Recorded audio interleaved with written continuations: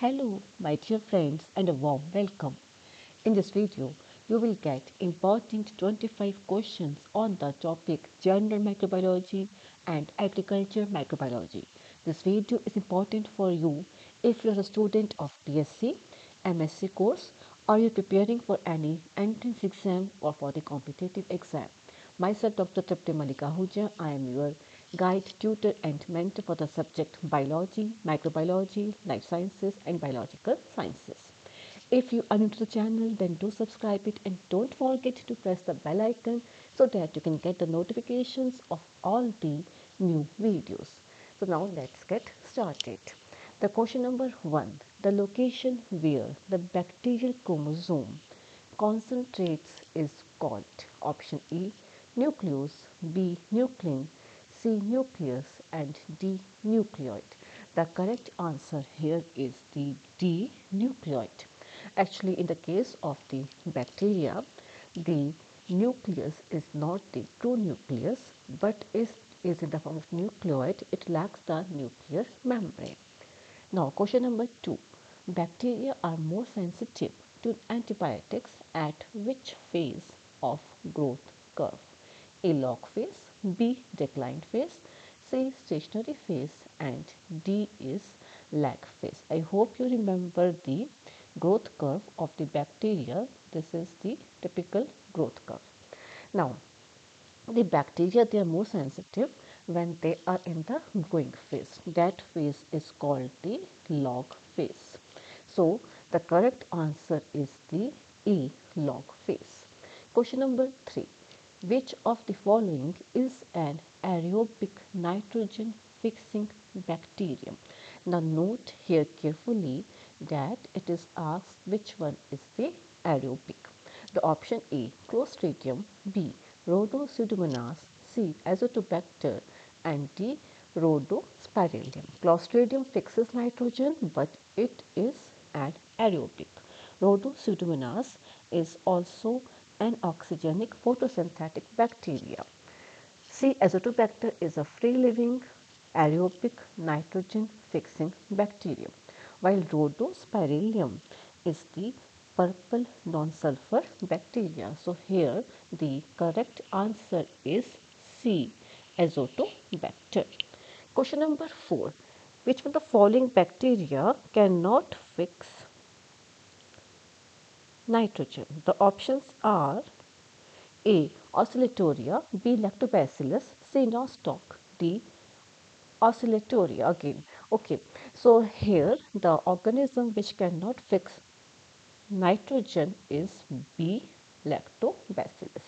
Oscillatoria and Nostoc they can fix and by mistake in this question oscillatoria is kept as the option for two times. Question number 5. What are bioinsecticides. A. Insects. B.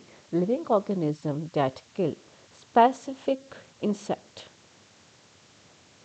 Then third option is fungi and D. Insects that kill other big insects. The correct option is the living organism that kill specific insects. One such example is that of the Bacillus thuringiensis.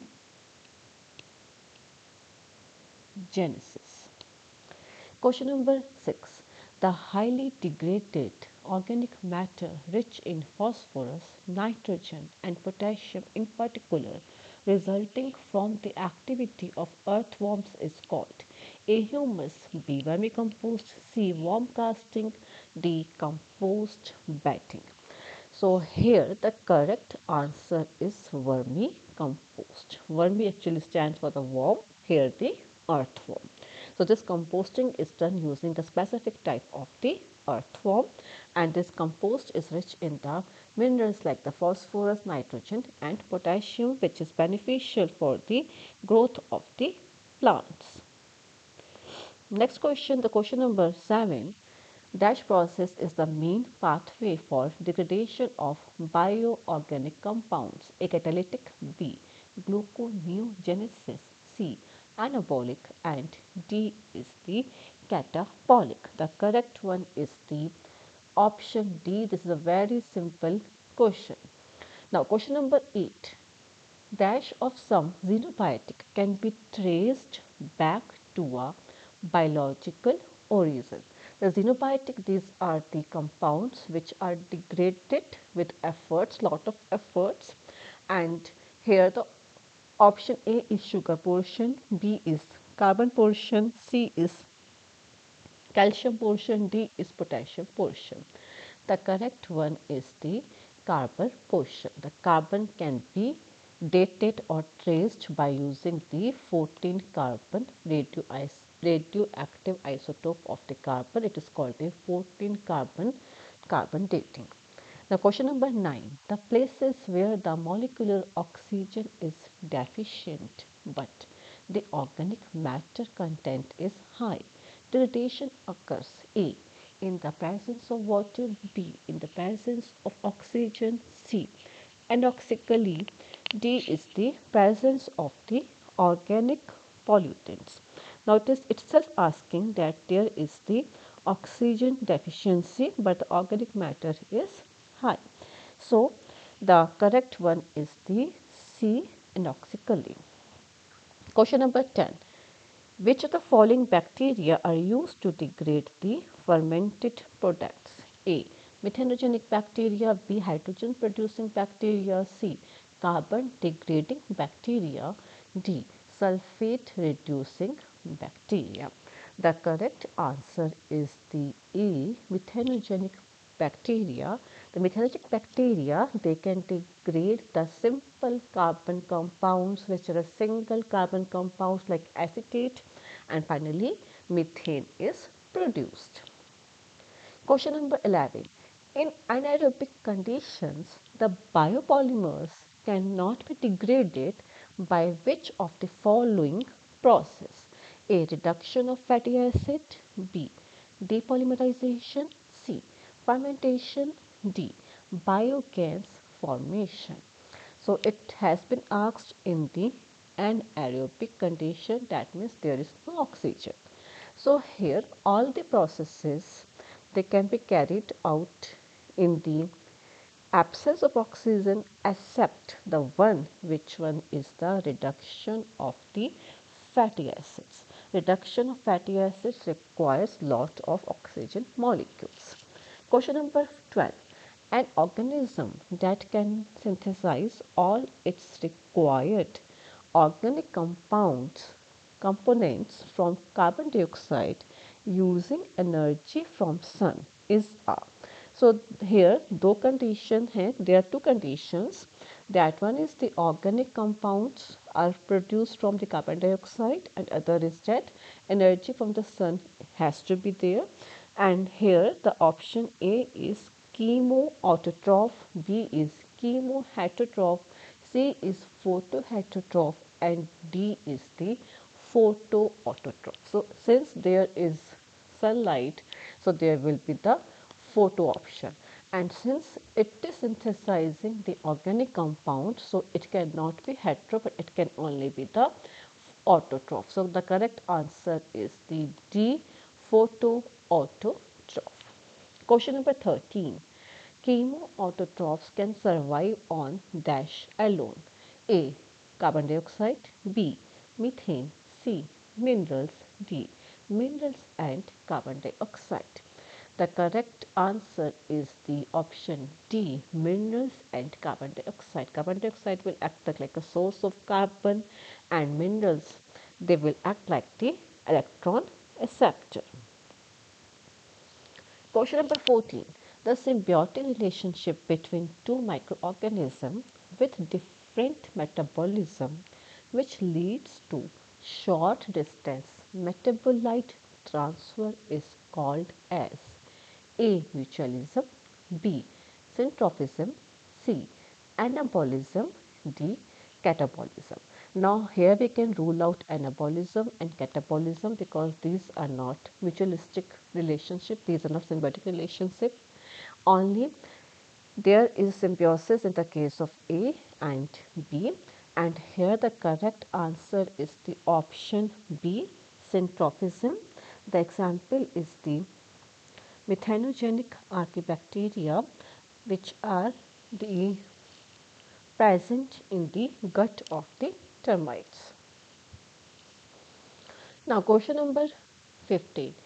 Which of the following does not use microbial degradation method? A. Redox potential B. Polluted water C. Pesticide disposals D. Sewage sludge all of the polluted water, pesticide disposal and sewage uses the microbial degradation but there is no such option like the redox potential.